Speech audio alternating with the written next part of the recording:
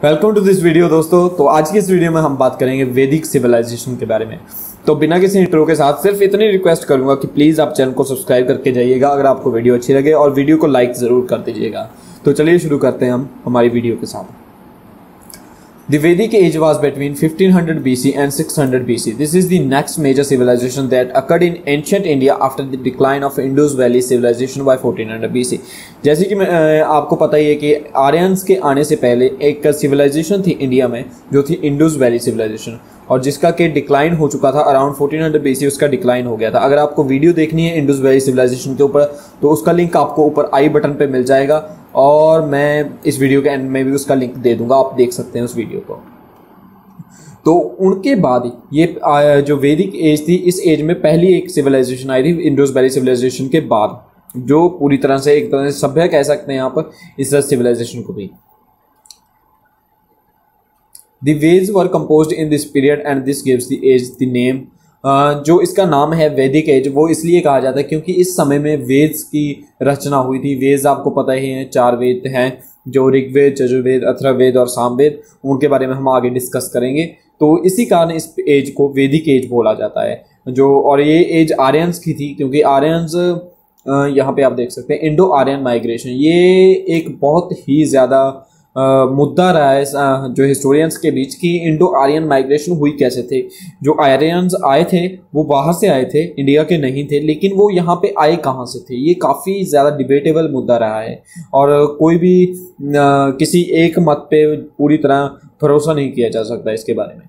The original homeland of the Aryans is a matter of debate with different experts suggesting different regions. मैंने आपको बताया है कि ये different historians different बात बताते हैं कि कहाँ से वो आए थे उनकी migration कैसे हुई थी Same से they come from the some say they come from the area around the Caspian sea in Central Asia कुछ कहते हैं जैसे कि वो कैस्पियन सी से आए थे जो मैक्स मुलर के थ्योरी है, वो ये कहती है कि वो Caspian sea in Central Asia से आए थे और यही सबसे ज़्यादा मानी जाती है ये theory while other think they originator from the Russian steppes Bal Gangadhar Tilak was of the opinion that the Aryans came from the Arctic region ये देख सकते हैं आप, जो बाल गंगाधर तिलक थे, वो कहते थे कि वो आर्कटिक रीजन से आए हैं।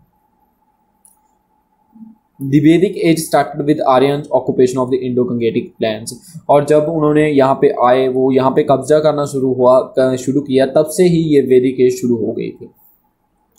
और ये जो आर्यन का वर्ड का मीनिंग है, वो है नॉबल यानी कि एक उच्च तरह की जाति या उच्च तरह के लोग, ऊँचे दे स्पोक संस्कृत और एन इंडो यूरोपियन लैंग्वेज वो संस्कृत का यूज़ करते हैं सबसे ज़्यादा। जैसे कि आपको पता ही होगा कि वेद्स में भी संस्कृत है। They led a rural seminomadic life as compare to the Indus valley people who are urbanised तो ये जो इंडस वैली के पीपल थे, ये तो अर्बनाइज थे। पूरी तरह से एक तरह शहरी सभ्यता थी। लेकिन ये आर्यंस जो बाहर से आए थे, ये रूरल सभ्यता थी एक पेंडू सभ्यता थी, यानी कि, और ये एक तरह से चलने फिरने वाली ज़िंदगी बिताते थे। It is believe that they enter India through Khyber pass ये माना जाता है कि वो इंडिया में खाइबर पास के ज़रिए एंटर हुए थे। जैसे कि आपको पता होगा कि नॉर्थ वेस्ट फ्रंटियर पे काफ़ी ज़्यादा पासिस हैं जिनके ज़रिए ही इंडिया में घुसा जा सकता है। वरना वहाँ पे पहाड़ बहुत ऊँचे ऊँचे हैं कि वहाँ से एंट्री नहीं की जा सकती, लेकिन कुछ पासिस हैं जिनके ज़रिए एंट्री की जाती है। और ज़्यादातर जो अटैक्स हुए हैं इंडिया पे बाहर से या फिर कोई भी आया है तो वो खाइबर पास से ही आया है। नाउ जो वैदिक पीरियड है, इसको टू फेसेस में, दो फेसेस में बांटा जा सकता है। एक है अर्ली वैदिक पीरियड या ऋग वैदिक पीरियड भी कहा जाता है, जिसे जो चलता है 1500 बीसी से लेकर 1000 बीसी के बीच में। और लेटर वैदिक पीरियड आता है, उसके बाद जिसे पेंटेड ग्रे वेयर फेस भी कहा जाता है। पेंटेड ग्रे फेयर फेस इसलिए कहा जाता है क्योंकि उस समय की जो पोटरी थी, वो पेंट की हुई होती थी ग्रे कलर की ऐसे कारण उसे पेंटेड ग्रे वेयर फेस किया जा, कहा जाता है। तो आगे सबसे पहले हम बात करेंगे अर्ली वैदिक पीरियड के बारे में या ऋग वैदिक पीरियड के बारे में। तो यहाँ पे आए रह गया। Initially the Aryans lived on the land known as Sapta Sindhu land of the seven rivers जो आपको उम्मीद है, मुझे पता होगा शायद आपको। अगर नहीं पता है तो जो शुरुआत में आर्यंस यहाँ पे रहना शुरू किया था, उस जगह का नाम था, उस समय जो हमें वेव्स में भी इस नाम को ज़िक्र मिलता है। सपत सिंधु नाम दिया गया था उस जगह को। जो मॉडर्न पंजाब है, वहाँ पे अब पाँच रिवर्स हैं, लेकिन अभी पंजाब में पाँच भी रिवर्स नहीं रह गई हैं because of the distribution between Pakistan and India तो यहाँ पे उस समय सात रिवर्स होती थी। इसी कारणों से सपत सिंधु कहा जाता था उस एरिया को। और वो रिवर्स थी सिंधु रिवर, जिसे इंडस बोला जाता है और जिसी के कारण इंडस वैली सिविलाइजेशन का नाम पड़ा था, वो सबसे इंपॉर्टेंट है। और उसके बाद ब्यास रिवर, जिसे विपाश बोला गया है, वितस्ता रिवर, जिसे जेलम जेलम रिवर को वितस्ता बोला गया है, रावी रिवर, जिसे परुषनी बोला गया है चेनाब रिवर, जिसे असिकनी बोला गया है, सतलुज रिवर, जिसे शुत, शुतुद्री बोला गया है, और सरस्वती रिवर। तो ये सभी रिवर्स हैं, आप इनके नाम याद कर सकते हैं, अगर आपको इंपॉर्टेंट लगे। वैसे हैं भी इंपॉर्टेंट और नहीं भी। आप कर सकते हैं अगर चाहें। तो पोलिटिकल स्ट्रक्चर उसके बाद हम बात करते हैं कि उन्होंने ऋग्वेदिक पीपल का जिन्हें अर्ली वैदिक एज में जो उनका पोलिटिकल स्ट्रक्चर था, वो कैसा था। तो मोनार्किकल फॉर्म ऑफ़ गवर्नमेंट थी। आप सबको पता ही होगा कि पुराने समय में एक राजा होता था और उसी का जो हुक्म होता था, वो माना जाता था।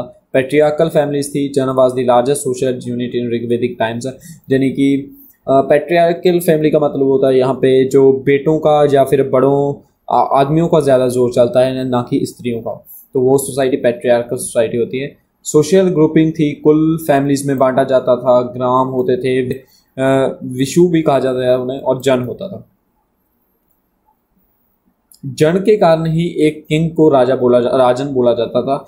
और जैसे कि आप देख सकते हैं सबसे छोटा यूनिट जो होती थी सोशल ग्रुपिंग की, वो कुल होती थी जनी की फैमिली उसके बाद आ जाता ग्राम जनी गाँव, फिर उसे बांटा जाता विश्व में या विशु में और उसके बाद आ जाता था पूरा का पूरा राज्य जनी की जन tribal assemblies were called sabhas and samitis examples of tribal kingdoms Bharat Matsyas Yadus and Purus ये सभी जो हैं, ये किंगडम्स थी उस समय की भारत मत्स्यज यादूज एंड पुरुष ये सभी उस समय की किंगडम्स थी या फिर उस समय के कुल थे, आप कह सकते हैं ऐसे। और जो उस समय एक असेंबलीज हुआ करती थी, सभा और समिति, जिनका थोड़ा कंट्रोल होता था राजा की पावर्स के ऊपर और उनके अकॉर्डिंग राजा को काम करना होता था। तो ये था पॉलिटिकल स्ट्रक्चर अब हम बात करते हैं सोशल स्ट्रक्चर की, कि अर्ली वैदिक पीरियड में सोशल स्ट्रक्चर कैसा था। Women enjoyed a respectable position जैसे कि अर्ली वैदिक पीरियड में जैसे आप देखते जाएँ कि लेटर वैदिक फेस में थोड़ा डिक्लाइन हो जाता है वुमेन की पोजीशन में, लेकिन अर्ली वैदिक पीरियड में उनको एक रिस्पेक्टेबल पोजीशन दी जाती थी।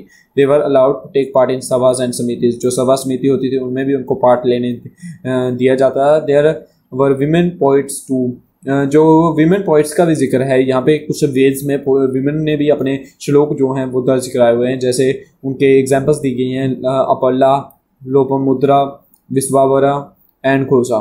ये आप देख सकते हैं। और उसके बाद cattle specially cow cows became very important cows का उस समय पे बहुत ज़्यादा महत्व था उस समय के। Monogamy was practice but polygamy was observe among the royalty and noble families monogamy का मतलब होता है कि एक ही वाइफ रखना। लेकिन जो नॉर्मल पीपल थे, वहाँ पे तो मोनोगेमी थी। लेकिन जो बड़े लोग थे, जैसे कि राजा वगैरह लोग थे, वहाँ पे पॉलीगेमी भी पॉपुलर थी, यानी उनकी बीवियाँ एक से ज़्यादा भी होती थी। और there was no child marriage child marriage का हमें कोई ज़िक्र नहीं मिलता है। ये अच्छी बात है। Social distinction existed but were not rigid and hereditary और एक बात है, जो सोशल डिस्टिंक्शन होता था, यानी कि जो जैसे जात वगैरह होती थी तो वो चीज़ें उस समय पे उतनी रिजिड नहीं थी। और वो चीज़ें जो थी, वो आपके काम के ऊपर निर्भर करती थी, ना कि आपके बर्थ के ऊपर। अब हम बात करते हैं इकोनॉमिक स्ट्रक्चर की। तो they were a pastoral and cattle rearing people जे जैसे कि पहले भी क्लियर हो क्लियर होता है कि वो गायें रखते थे ज़्यादातर तो वहाँ पे वो कैटल रेयरिंग सोसाइटी थी और जो पैदल यात्रा वगैरह करने में वो काफ़ी विश्वास रखते थे, काफ़ी ऐसे ही चलते रहते थे। दे प्रैक्टिस एग्रीकल्चर एग्रीकल्चर भी करते थे, लेकिन उसके साथ साथ produce made products made out of copper iron and bronze were in use जैसे कि आपको पता ही होगा कि आयरन जो था वो इंडस वैली के पीपल्स को नहीं पता था। वो आयरन का इस्तेमाल नहीं करते थे, लेकिन आर्यंस बहुत ज़्यादा इस्तेमाल करते थे आयरन का। और दूसरी बात थी, घोड़ों का भी इंडस वैली सिविलाइजेशन को माना जाता है कि उनको नहीं पता था घोड़ों के बारे में, लेकिन यहाँ पे भी घोड़ों का आर्यंस बहुत ज़्यादा इस्तेमाल करते थे। दे हैड हॉर्स चैरियर्स ये भी आपको देखा ही होगा। हाउस चैरियर्स होते थे, उनके बाद rivers were use for transport transport के लिए नदियों का इस्तेमाल किया जाता था। Cotton and woollen fabrics were spun and use cotton के कपड़े और जो वुलन के कपड़े यूज़ किए जाते थे। Initially trade was conducted through the barter system but later on coins called nishka were in use ये टर्म याद रखने वाली है निष्का जो अर्ली वैदिक पीरियड में गोल्ड कॉइन्स का यूज़ किया जाने लगा था, उसे निष्क बोला जाता था। अदरवाइज़ वाटर सिस्टम था, जैसे आपको पता ही होगा कि इंडस वैली सिविलाइजेशन में भी वाटर सिस्टम का इस्तेमाल होता है, यानी कि आप एक चीज़ देते हैं किसी और को जो आपके पास ज़्यादा है और उससे वो चीज़ ले लेते हैं जो आपके पास कम है, जहाँ आपको उस चीज़ की ज़रूरत है। तो उसको बोला जाता है वाटर सिस्टम यानी कि लेन देन वाला सिस्टम उसको वाटर सिस्टम बोला जाता है। और कॉइन्स भी यूज़ किए जाने लग गए थे गोल्ड कॉइन्स जिसे निष्क बोला जाता था। तो आगे हम बात करते हैं उनकी रिलीजन के बारे में। कि जो पीपल थे आर्यन, उनकी रिलीजन कैसे थे? They worship nature forces like earth fire wind rain thunder etcetera by personifying them into deities जैसे कि इंसान ने शुरू से ऐसा किया है कि जिस चीज़ से उसे डर लगता है या जिस चीज़ का वो आभारी होता है, जैसे कि फॉर एग्जांपल आप पानी के बहुत आभारी होते हैं क्योंकि पानी आपको जीवित रखता है, हवा के होते हैं तो वो उन्हीं चीज़ों को गॉड मान लेता है, उन्हीं चीज़ों को डाइटिस मान लेता है, अपने देवी देवता मान लेता है। तो ऐसा ही उस समय पे हुआ हुआ करता था और उनको पर्सोनीफाई किया जाता था, यानी कि उनको इंसान का रूप दिया जाता था, उन चीज़ों को अपनी कल्पना में इंसानी रूप दे दिया जाता था। जैसे कि इंद्र को जो थंडर का गॉड माना जाता है बारिश का और ऐसा, ये सब था was the most important IT और इस समय पे अर्ली वैदिक पीरियड में सबसे मोस्ट इंपॉर्टेंट थे Indra. Other डेटिज were Prithvi, earth, Agni fire Varun rain and वायु। यहाँ पे वरुण वैसे वायु के होते हैं, मुझे लगता है यहाँ पे गलत है। तो वायु विंड ये आगे। वायु के विंड ठीक है, हो सकता है वरुण, उस समय पे अलग अलग चीज़ें थी। चलो। Female deities were Ushas and Aditi Usha and Aditi यानी कि सुबह का उन सब चीज़ों को भी पर्सोनीफाई किया था। There were no temples and no idol worship ये काफ़ी एक स्ट्राइकिंग चीज़ है जो आपको याद रखने वाली है कि उस समय पे ना कोई टेम्पल्स होते थे और ना ही आइडल वर्शिप होती थी, यानी कि भगवान के जो मूर्तियाँ वो चीज़ें नहीं बनाई जाती थी। उस समय पे उनकी पूजा नहीं की जाती थी। और इसी के साथ दोस्तों, मैं उम्मीद करता हूँ आपको ये वीडियो पसंद आई होगी। हम नेक्स्ट वीडियो में कंटिन्यू करेंगे अगले पार्ट के साथ, जो होगा हमारा later Vedic period and painter और पेंटर ग्रे फेस तो यहाँ तक वीडियो देखने के लिए आपका thank for watching this video आप प्लीज़ चैनल को सब्सक्राइब कर लीजिए ता जो मैं अब जब भी नेक्स्ट वीडियो अपलोड करूँ। इसके तुरंत बाद वैसे मुझे उम्मीद है अब तक मैंने अपलोड कर दी होगी वो वीडियो भी। अगर नहीं की है तो आपको उस वीडियो का लिंक भी डिस्क्रिप्शन में मिल जाएगा या इस वीडियो के एंड में यहाँ पे आपको लिंक ज़रूर मिल जाएगा उस वीडियो का। आप जाकर देख सकते हैं उस वीडियो को। और इसी के साथ आपका thanks for watching this video और प्लीज़ चैनल को सब्सक्राइब ज़रूर कीजिएगा।